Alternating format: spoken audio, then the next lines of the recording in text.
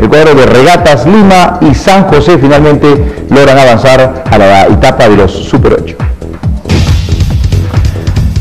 En una jornada que se vivió este último fin de semana en Arequipa, donde el cuadro de regatas finalmente logra imponer condiciones.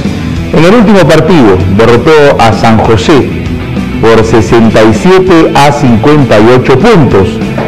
Con ello, Regatas clasifica a los Super 8 como ganador de la Serie D y San José obtuvo el segundo lugar, también asegura su pase y su presencia a la etapa de los Super 8.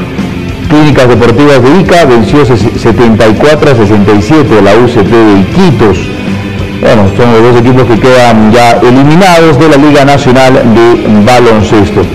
La etapa de los Super 8 va a arrancar del 2 al 4 de septiembre en Lambayeque. Aquí están cuatro equipos, Regatas de Lima, Power de Ayacucho, Juventus de Lambayeque y Faraday de Arequipa. Regatas y Faraday son los llamados a clasificar a las semifinales. Vamos a ver cómo responde el cuadro arequipeño, que es considerado uno de los candidatos para conseguir el título nacional de baloncesto en esta temporada. Van a tener una dura actividad en Lambayeque del 2 al 4 de septiembre, mientras que del 9 al 11 de Trujillo se va a realizar la Serie B, donde se encuentra la EOFAP de Lima, DCT de Trujillo, San José de Arequipa y Osos de la Salle, también de Arequipa.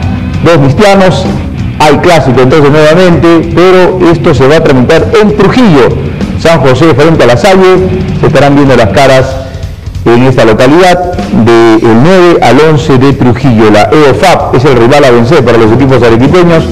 Van a ir en búsqueda de avanzar y llegar a clasificar a las semifinales.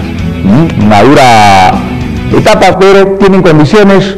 Ambos equipos han mostrado un muy buen nivel, así es que se espera una atractiva jornada. No te lástima que no se juegue la Super 8 en Arequipa, una serie por lo menos. Tenemos tres equipos arequipeños dentro de esta fase. Sin embargo, ya las sedes están distribuidas para lo que significa esta instancia que se vecina de la Liga Nacional. Y disfruta con Claro Hogar de Internet